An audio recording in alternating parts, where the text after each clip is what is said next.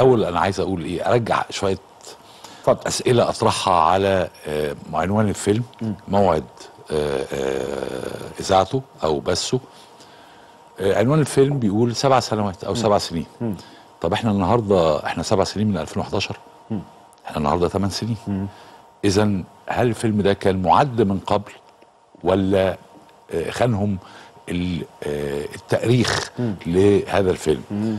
الجزئية الثانية انت النهارده مطلع الفيلم ده ليه؟ إيه الهدف من خروج هذا الفيلم؟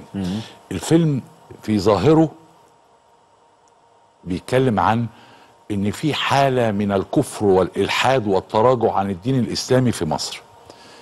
وبالتالي هو بينتقد حالة موجودة في المجتمع المصري. نعم طيب هو هل هو هل محمد ماهر عقل يهتم بهذا الموضوع؟ آه طبعا هو يهتم بهذا الموضوع ويهتم إن هو يطلع عينات شاذة في المجتمع. أي مجتمع فيه عينات شاذة. أي مجتمع فيه عينات آه، آه، آه، غير متجانسة مع المجتمع فكريا وثقافيا ودينيا وكل شيء. الاخوان نفسهم كانوا هم وما زالوا طبعا جماعة شاذة عن المجتمع. طيب هو عايز يرجع إيه؟ هو بي بيفكر في إيه؟ أنا شايف إن هو بيفكر في حاجة أبعد من حتة الإلحاد.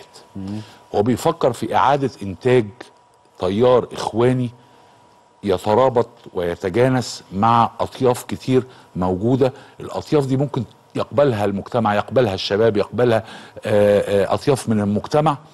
تقدر يقدر إن هو من خلالها ينفذ إلى المجتمع. مرة أخرى. أيضا أنا عندي استفسار آخر. هو الفيلم ده اتصور فين؟ الناس دي صوروه فين؟ محمد ماهر عقل مش ممكن يجي مصر.